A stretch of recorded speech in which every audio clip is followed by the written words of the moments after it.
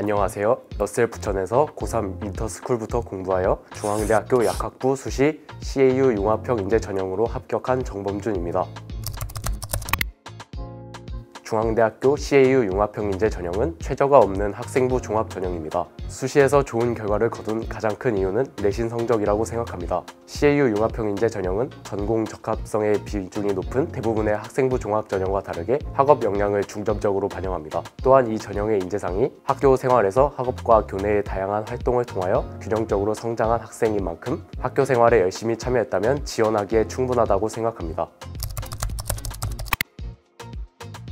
학교 수업 시간에 졸지 않고 수업을 들을 수 있도록 노력하였습니다. 이를 위해 잠을 무리하게 줄이지 않고 학교 쉬는 시간에 쪽잠을 잤던 것이 도움이 되었습니다. 다자관의 장점은 체조입니다.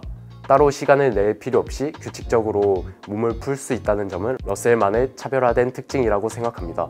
졸릴 때 체조를 하고 나면 정신이 맑아지는 느낌이 나면서 공부에 집중이 더 잘 되었습니다. 또한 심야 자습 제도가 큰 도움이 되었습니다. 더 공부하고 싶은 것이 있을 때 자유롭게 남아서 공부하여 제가 부족했던 부분을 보완할 수 있었습니다. 자습 완료 시 상점을 부여하며 심야 자습에 참여할 동기를 얻을 수 있었습니다. 마지막으로 수시 원서를 접수할 때 담임 선생님께서 큰 도움이 된 것 같습니다. 선생님께서는 어느 학교에 어떤 전형으로 6장의 원서를 접수할지 조언을 해주셨습니다. 1대1로 긴 시간 동안 상담을 진행하며 더 나은 방향으로 원서를 접수하기 위해 노력해 주신 것이 좋았습니다.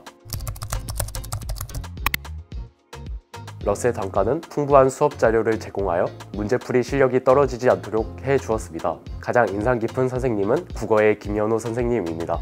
언어와 매체를 암기만으로 풀어나가면 안 된다는 점을 계속 상기시켜 주시면서 시험장에서 가져야 하는 풀이 자세를 상세히 알려주셨기에 저의 국어 실력에 많은 도움을 주셨습니다.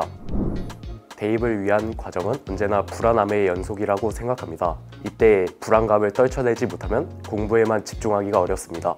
모두 자신이 해낼 수 있다는 생각을 가지고 불안함을 이겨내셨으면 좋겠습니다.